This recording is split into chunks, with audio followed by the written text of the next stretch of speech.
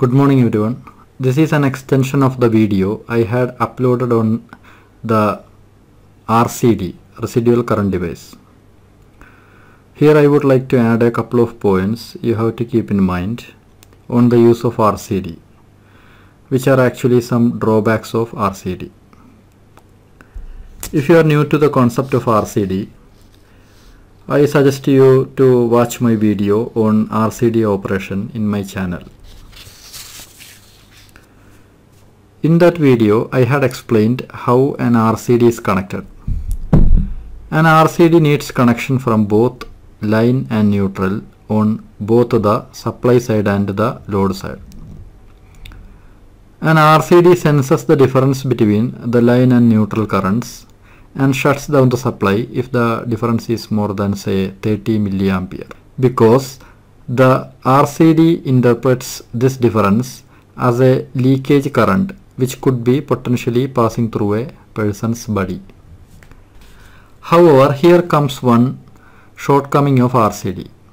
What happens if there is a short circuit between the line and neutral? Uh, a short circuit is actually a direct connection between line and neutral. As you can imagine, RCD doesn't offer any protection in this case because in the case of a short circuit the line and neutral currents are still the same and so RCD has no reason to trip.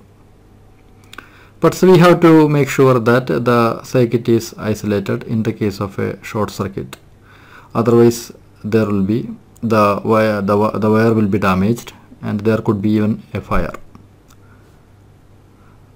So in this case an RCD alone cannot be used to protect a circuit against short circuit.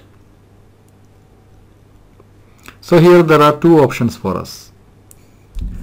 One option is to connect a circuit breaker in series to the RCD in the line which will protect the circuit in case of a short circuit whereas RCD will protect from earth faults.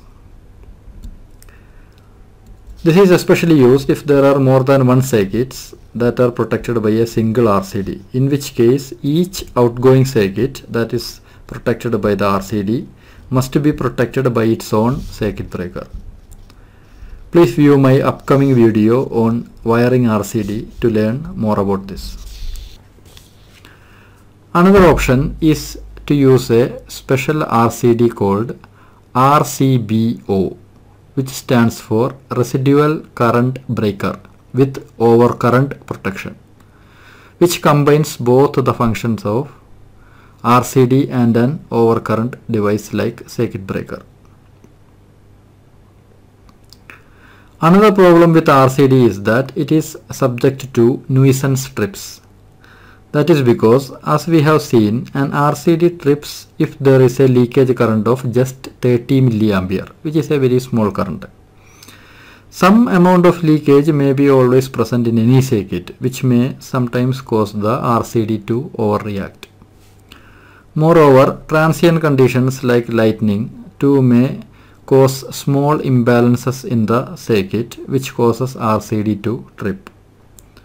Or another reason can be that the RCD itself is faulty.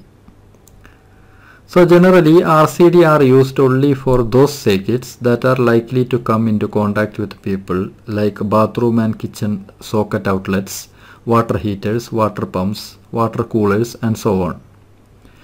It is not a good idea to put lights on RCD protected circuits because you will be left in the dark if the circuit trips due to uh, the above problems.